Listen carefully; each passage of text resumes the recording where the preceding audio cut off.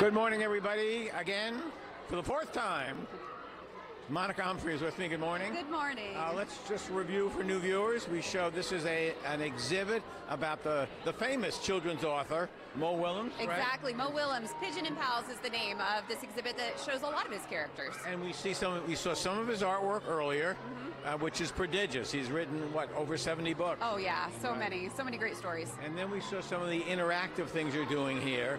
So the next thing we want to do, this is apparently based. I don't know this.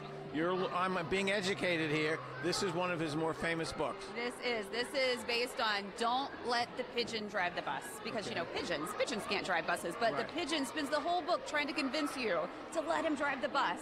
So you can come and you can drive the bus. You can also uh, read a lot of great stories. We've got a, a selection of books in the bus.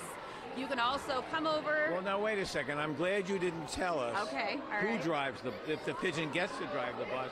'cause Oh, then I would it. have to put up on the screen spoiler. right. So so we don't Right. want to say anything no, about that. read the book. Read the book, Read the and you can find out if the pigeon gets to drive the bus. All right, we're getting a shot of the chaos in there. Yeah, yeah. And tell us now. Let's. Oh, look, we got.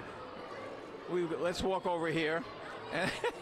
Now there is no book. Don't let the children drive the bus. Right, you can drive the bus, so your kiddos can come in here and put on the buses and drive around. Uh, the, Well, I can't because I can't get in there. No, kiddos, kiddos can get in there. We can't, right?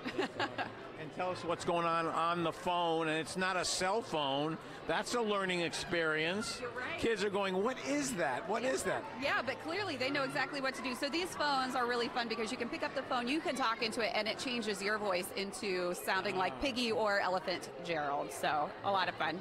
Well, you've got lots of school groups here this morning, and the exhibit runs through. May 10th.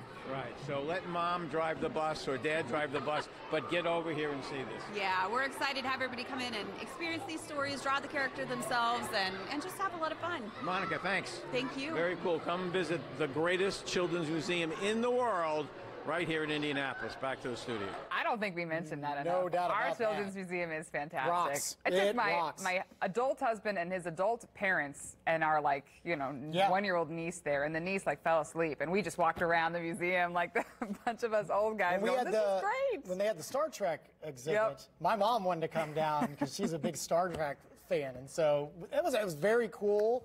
It's just fun for everybody, Fantastic. right? It's good stuff. that exhibit opened through May the 10th, 10th, by yep. the way. Very good.